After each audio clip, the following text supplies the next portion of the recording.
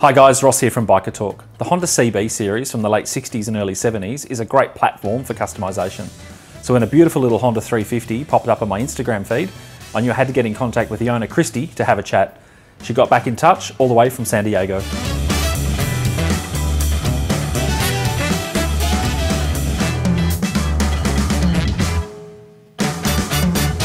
So Kristy, thanks for joining me here on Biker Torque. So tell me, how long have you been riding? Um, I've been riding on and off for about 10 years now. My parents were motorcycle riders. First bought my first motorcycle back in 2010. It was a Yamaha, a 68 Yamaha YCS1. And I rode that around for forever, I feel like. Um, until recently, I actually sold it to get money for this guy. so yeah, um, I bought this motorcycle for, I guess, $600 in 2012 and it was a project bike for forever. I'm actually, I commute mainly. Um, I don't get on the highway, but there's a lot of really cool um, roads around here that you can cruise around on. Um, but I like also like riding at night when there's nobody else on the road. So I'm like a little rogue rider. I'm from Colorado, so I, I really liked riding downtown at night when nobody was out. Here there's this road called Pershing and it's like super windy. Um, and then I like taking that um, pretty much side roads, back roads, all the way to the beach. And I'll ride along the beach or I'll ride to Sunset Cliffs and then I'll just hang out, watch the sunset, and then ride back home. So yeah, that's my current favorite ride to do. from uh, Astoria, Oregon to San Francisco. That would be choice. yeah, because you go through the redwood forest and you you're along the, the coast the entire time, like, and it's super green and lush, and like there's a lot of people on motorcycles on that route, and it's just beautiful. There's like views all all down Oregon. So yeah, I would definitely do that on a motorcycle for sure. I know the frame is like a 67, like the and then the engine I think it's like 69 I don't know it's just all kinds of different parts. So I I was like I'm gonna make this into a cafe racer. And this is what I'm gonna do. And like I dragged it around with me for about uh, like seven or eight years just in parts. Like I took it apart and you know put it back together and like tinkered with it for years. I originally wanted to do everything by myself so I could learn the bike in and out but um, I, I tattoo full time and when I'm not tattooing, I'm making jewelry. So I kind of ran out of time. Like the project went to the wayside. A lot of the reason why I was wanting to get a Honda also was if the parts are still readily available, I guess. You can find what you need if you break it. So I was like, oh, I can, I can get a Honda and I could break everything on it, but I could find the parts easily. That's one of the reasons. But yeah, also because they're like super customizable. And I didn't feel bad about, you know, this this bike wasn't stock when I got it. Whereas the Yamaha, the YCS one was stock and had all its original parts and I didn't want to tear that into a cafe racer because it was just such a rare bike in general. I used to call it adult Legos. I've always been technically inclined, like just building stuff. Even with my cars, like um, I would, you know, fuel pump would go bad, and you know, I would sit down and read about it and then do it myself rather than like taking it to a mechanic. And so that's the old vintage bikes and the simplicity of the bikes. I really wanted to get into it and like learn everything and start, you know, build my own thing.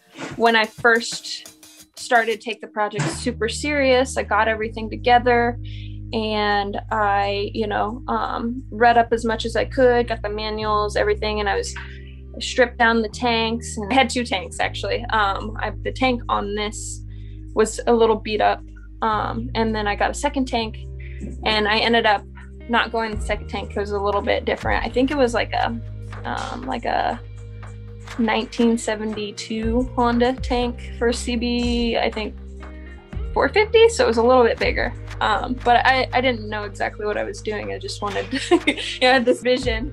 Um, but the the day that I started taking everything apart and um, you know stripping everything down sanding everything down and i had the bike all laid in the in out in the backyard in parts um, that night i got news that my brother was killed. And i obviously didn't work on the bike for several months after that. Um, you know i was focusing on my brother and my family and i went out to see my family. Then after you know i gathered myself and life was kind of coming back to somewhat normal. It'll never be normal but um, i would try and sit down with the motorcycle and work on it and it would trigger me every single time. Um, it would bring me back to the day my brother died. So for years i sat on it and just wanted to kind of work on it, but I just had to come to terms with the trigger. And that's when I started looking into motorcycle builders around San Diego and the LA area. And I stumbled across Alchemy here in San Diego. And I saw their builds, they were super nice. So I met up with the owner and we started discussing designs and stuff. But yeah, he was open to it. He was pretty excited about it. And I handed over the bike to him. So yeah,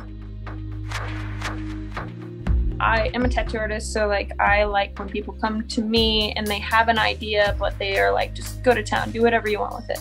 So I like, when I took the motorcycle to them, I was like, oh, I want something like either you can do something really like girly or like Mad Max. Like the more I talked about it, I was like, oh, you know, I don't care. But then I'd be like, oh, it'd be cool if you did this. There's a side of me that likes just the like super candy stuff. Like the bottom half of the bike's all you know matte black and the tires are black and all that stuff. And then and then the top's candy. And uh, it's funny because um, somebody came to me and they're like oh yeah if you go with mitchell he'll want to chrome your whole bike. And i remember being like don't put any chrome on it. You know went half and half with my idea and it came out pretty rad I loved it. It was like this is my dream bike. You know, I've been dreaming. I had ever since I, you know, got the motorcycle. And before that, like, I've been wanting to have pretty much this cafe racer. This is like my dream bike. You know, so stoked. And I have to. It's a 350, so it's really. When I first got on it, I was just like awesome and like peeled out. I didn't skid out or anything, but it felt like it. I was like, oh, I gotta, you know, like take it down a notch. It's easy though. It's easy to just like, you know, want to get crazy on this motorcycle because it's so light and stuff. So I had to like, I was excited, but I had to like tone it down. It's all about me time, you know, it's my personal time. I can be in my helmet and like just cruise and not have to think about anything but what's going on around me. So yeah, that's what I like about it a lot. You put your helmet on and you can be like, I can't hear you, I'm sorry.